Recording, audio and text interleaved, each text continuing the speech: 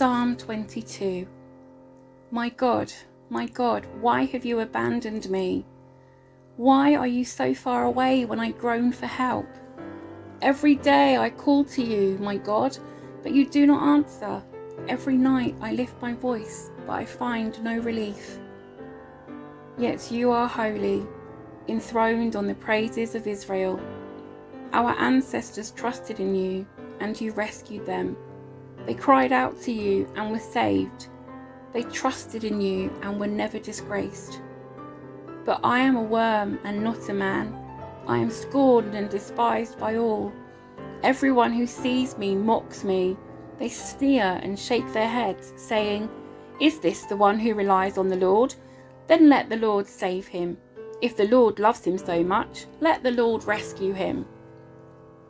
Yet you brought me safely from my mother's womb and led me to trust you at my mother's breast. I was thrust into your arms at my birth.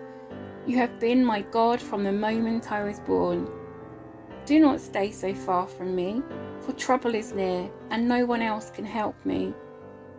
My enemies surround me like a herd of bulls. Fierce bulls of Bashan have hemmed me in. Like lions, they open their jaws against me roaring and tearing into their prey. My life is poured out like water, and all my bones are out of joint. My heart is like wax, melting within me. My strength is dried up like sun-baked clay. My tongue sticks to the roof of my mouth. You have laid me in the dust and left me for dead. My enemies surround me like a pack of dogs. An evil gang closes in on me. They have pierced my hands and feet. I can count all my bones. My enemies stare at me and gloat. They divide my garments amongst themselves and throw dice for my clothing. O Lord, do not stay far away. You are my strength. Come quickly to my aid. Save me from the sword. Spare my precious life from these dogs.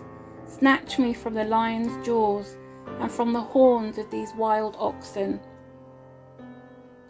I will proclaim your name to my brothers and sisters. I will praise you among your assembled people.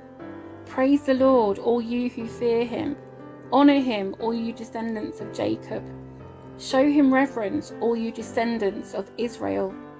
For he has not ignored or belittled the suffering of the needy. He has not turned his back on them, but has listened to their cries for help. I will praise you in the great assembly. I will fulfill my vows in the presence of those who worship you. The poor will eat and be satisfied. All who seek the Lord will praise him. Their hearts will rejoice with everlasting joy. The whole earth will acknowledge the Lord and return to him.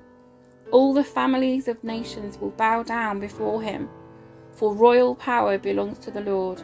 He rules all the nations. Let the rich of the earth feast and worship Bow before him all who are mortal, all whose lives will end as dust. Our children will also serve him. Future generations will hear about the wonders of the Lord. His righteous acts will be told to those not yet born. They will hear about everything he has done.